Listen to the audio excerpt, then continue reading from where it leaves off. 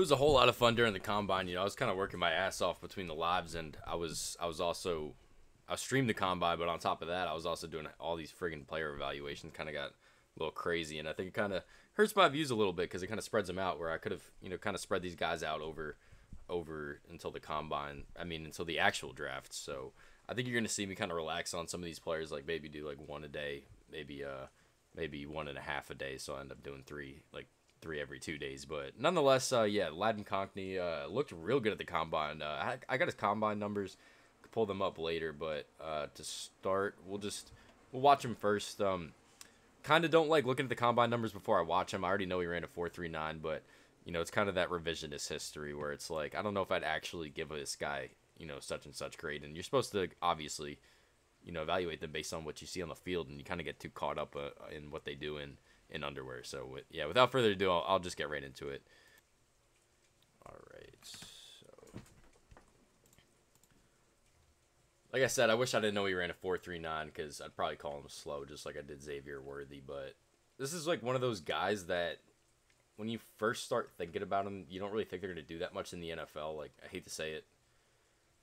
I was thinking more of a, you know, dude that's awesome in college doesn't do much at the next level, but by all intents and purposes and all accounts, not intents purposes, but all accounts, like this guy's got a legitimate shot to be a real NFL receiver. Like I've heard some people talking about him day one. I don't know if he, you know, just taking a look at him, he's he's real undersized. He doesn't have a look the look of a first round receiver to me, but in terms of his shiftiness and see how he just broke off that route right there is, you know, his route running is real good. Um, I hate saying route running. I, I'm looking for more change of direction, that kind of stuff. So we're still trying to gauge his athleticism. Um, not going to worry about his long speed so much since we know he's we know he's fast, but is he quick? And he looks quick so far. You know, how does he change direction? How does he run routes? What does he do with the ball in his hands? How are his ball skills? You know, you're not expecting this guy to be a great, uh, obviously contested catcher, but nonetheless, these are the questions we must ask ourselves.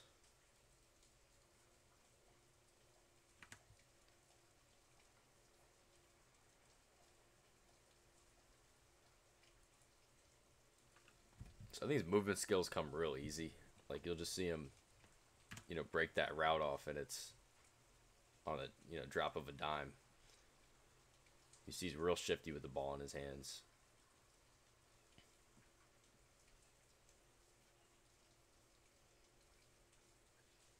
He's got some pickup also. Like, take a look. He's you know stopped right here, and then just watch how he accelerates. It's really more burst than it is acceleration, but no, he's he's fast.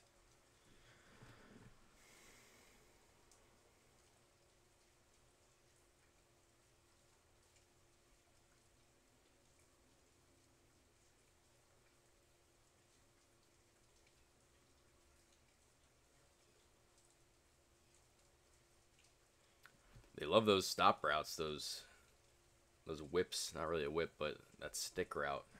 It's like the sixth one I've seen see him take the top off again. Like I said, I'm not worried about the long speed because he ran a 4.39, but I want to see it show up on on tape. But you can see he's got real real good burst. Now, if he had another two three inches to him, this guy's a first rounder, no doubt. But he's working with a smaller frame here.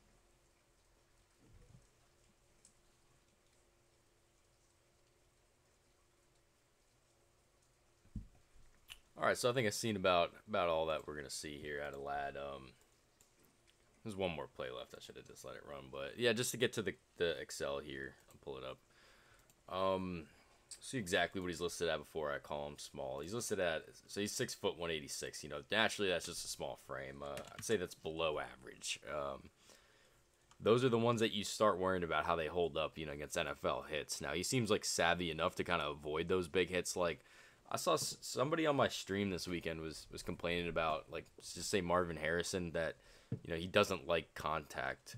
Well, for a receiver, I don't think that's so bad of a thing. Like you talk about these receivers and their builds, they're they're a bit more longer than they are stout. Like running backs are more stout, and if you got a running back that doesn't like contact, you know that guy's you got some serious issues with that.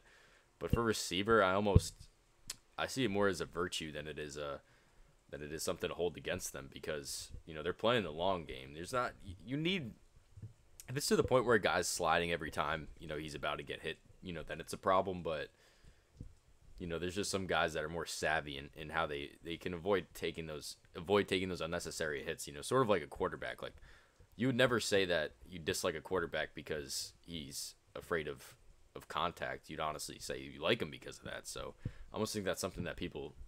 I don't, I don't think that's something that you should really hold against a receiver. But long story short, I'll give him a five for the change of direction. It's probably a six, but otherwise I'm gonna give him too high of a grade. Uh, his ball skills, like I, I, typically when I think of ball skills, like I, I wrap hands into it, but it's also you know at the catch point how physical he is. I don't want to dock points here for him because I'm already taking away the points from frame and that's kind of what's holding him back in that. I might I'm gonna give him a six on this. I just don't want to grade him. I don't want him to grade out higher than like just like insane. So I'm gonna give him a three on the ball skills. Yeah, he's got good hands. You know, just watching him through the combine, he's got he's got easy hands, right? Like that's what they say is easy hands. So uh, his long speed at a four three nine is that a six? Is it a five? I'm gonna give him a five. And short area quickness looks really good. So I mean, he just graded out real high. Um, I think the frame concerns are legitimate, and I understand why people would hold that against him. Him being only six foot. We can get rid of this here in a second.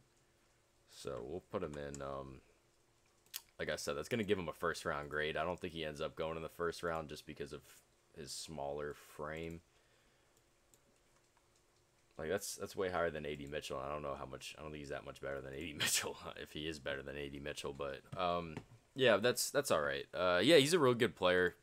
Uh, again, like I'm kind of surprised that this was when I first heard. You know, I've known who Laddie McConkey is obviously because he's been a you know real good part of one of the better teams in the country, real big part of one of the better teams in the country, and you know you're familiar with his name, but that's never a guy that like just looking at him, right? Just looking at his size, just watching the games live. You never think NFL with that kind of guy, but you know you watch the tape and he's real quick, and you know him running a four three nine obviously isn't gonna hurt. Uh, just looking at some of his other combine numbers, I'm curious to see how he jumped if he did jump.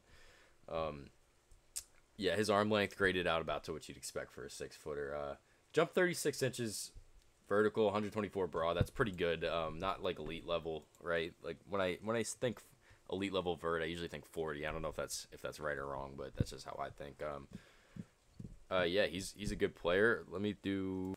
Now that we got all the numbers in, we can uh you know kind of compare him here. So just to see uh, what he's at in the percentile, like you can see he's he's real low for height and weight, um, especially weight, but uh, arm length real bad at 30 and a quarter. You know, just taking a look at his physical stuff, it's it's really not really not. It's about what you'd expect looking at it. You know, in the lower, just looking at him in, on tape. You know, uh, but when you get to the athletic stuff, really not all that impressive besides the 40. I'm surprised that 36 vert, it's only 47 percentile for receivers. But, you know, yeah, he ran a real good, real good 40 time. And if he would have done the three cone or the shuttle, I bet it would have been pretty good as well. So just looking at uh, some of the comparisons he gets. Um, Dane Jackson, random name for uh, physical, then athletic. You got Pierre Strong in the combo. You got Pierre um, Dane Jackson again. But just looking at some of these other names here, I mean – not really NFL names. You know, like yeah, they said they said he was real close to Garrett Wilson. For whatever reason, he just came up as seventh on mine. Yeah, his numbers did look close to Garrett Wilson's, but that's what I, I I always figured that they were bullshitting with these comparisons. Like, because every time it's a guy that you've heard of is number one, but you know you'll get these other guys. He's, he's a bit closer to them, I guess. But I bet you, yeah. So that's what I came up with. Look at the athletic Garrett Wilson showed up again. You know, so that's a name that you get excited about. Um, I don't think he's quite as like slippery as as Garrett Wilson, but he's a good player for sure. Um, again, you don't treat these don't treat these combine numbers as Bible, but uh, yeah, he looked good let me know what you guys think. If you guys have any uh, recommendations for the next player, if you guys have any uh, disagreements about Ladd McConkey, please let me know.